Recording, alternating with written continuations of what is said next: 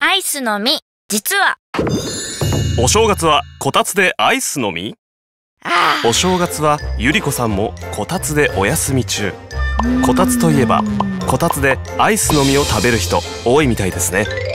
こたつでみかんもいいけどアイスの実を食べるなんてどうでしょう？ゆりこさんも？堪能しているようです。